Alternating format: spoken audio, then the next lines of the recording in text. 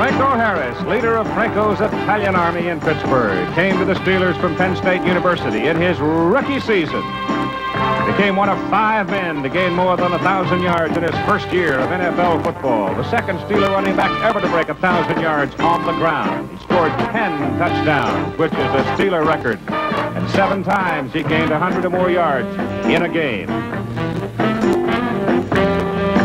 Big halfback had trouble with a knee in 1973, but still finished with 698 yards, and he's just back from a tour of American military bases in the Far East. As a matter of fact, he flew directly from the Far East here to Rotonda for the competition.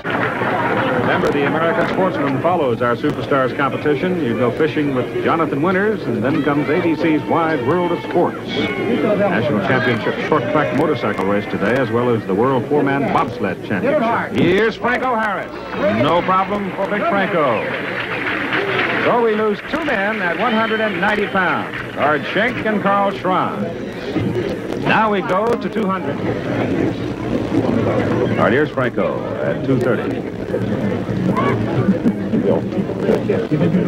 Okay, get set, good. COJ up there in the corner. Hold it. Hold it. Bring it up. Good lad. Franco's hardly breathing hard at 230 pounds. That's bothering Juice a little bit. Take them all off and put the 25. We'll be back with more. All right, set let's good. watch and see if the big halfback can handle 255. Whoa! Bring it down. That's the first Good. time that he has shown any sign of buckling at all. But he cleared 255 all right. Here's Brian. Sure he can. All right, 265 pounds. Of course, Get Franco and OJ both need as Round it many up points as they can get. Hold. Franco's up at 265. He's got it. Franco Harris wins the weightlifting. O.J. Simpson comes in second, Seacon third, Pete Rose four, and Jim McMillian fifth.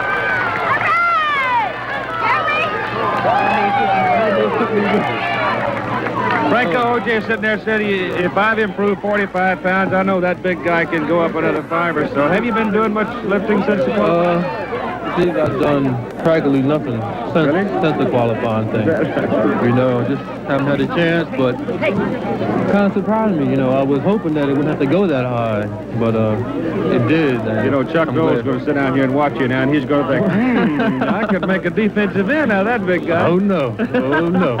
Nothing like that. You know. Well, I, well, I hope I can do something good in the running tomorrow. I might, Oh, yeah, I might keep me all where. I'm at. You'll be all right. Congratulations. Hey, thank you, Keith.